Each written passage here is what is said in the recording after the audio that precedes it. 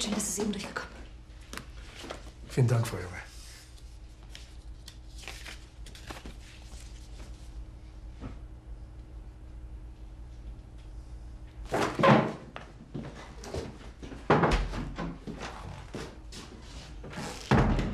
Telegramm von Göring. Ja. Er schreibt, mein Führer, sind Sie einverstanden, dass ich nach Ihrem Entschluss in der Festung Berlin zu verbleiben, als Ihr Stellvertreter sofort die Gesamtführung des Reiches übernehme?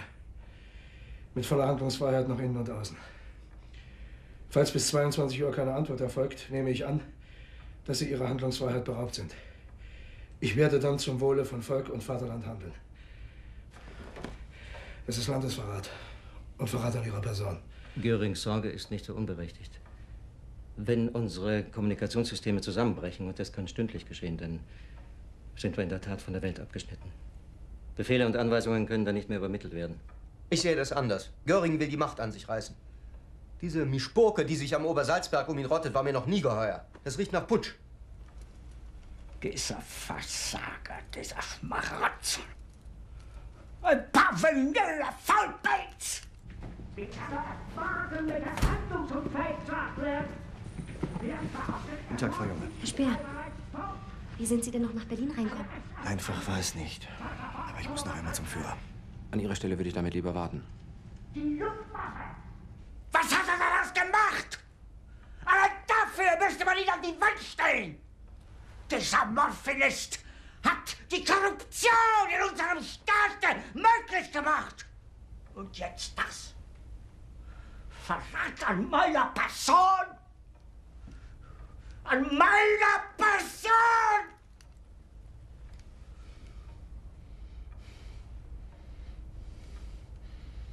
Ich will, dass Göring sofort entmachtet wird und alle Ämter aufgibt. Für den Fall, dass ich den Krieg nicht überstehe, ist der Mann auf der Stelle hinzurichten.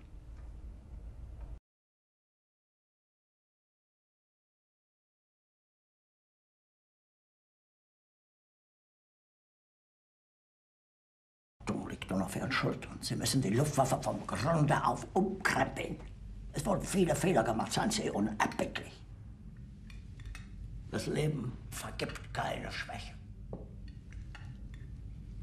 Die sogenannte Menschlichkeit. Das ist ein Geschwätz der Schweinepfaff. Mitleid ist eine Ursünde. Ich sage immer, Mitleid zu haben mit den Schwachen. Ist Verrat gegen die Natur.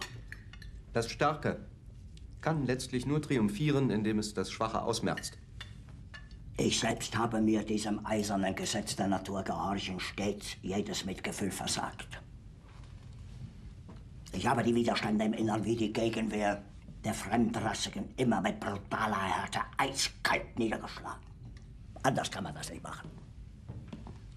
Die Affen zum Beispiel trampeln jeden Außenseiter als gemeinschaftsfremd tot.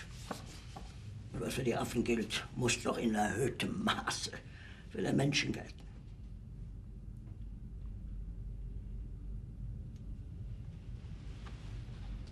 Himmler hat in Lübeck den Westmächten ein Kapitulationsangebot gemacht. Bei der Grafen Bernadotte. Der englische Rundfunk berichtet das.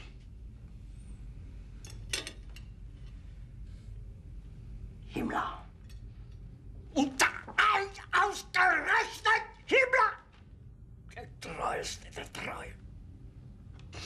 Das ist der schlimmste Verrat von allen! Göring, ja. Der war korrupt, immer schon. Speer, ja. Ein wildfremder, unberechenbarer Künstler. All die anderen, ja, ja, ja, ja, ja. Aber Himmler. Ja, ist das denn wahnsinnig geworden? Um sich zu autorisieren, behauptet er, ich wäre krank. Ja, vielleicht schon tot!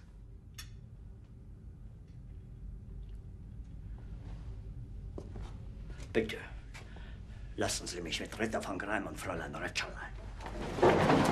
Und holen Sie mir Fegelein! Mein Führer, wir wissen nicht, wo er sich im Moment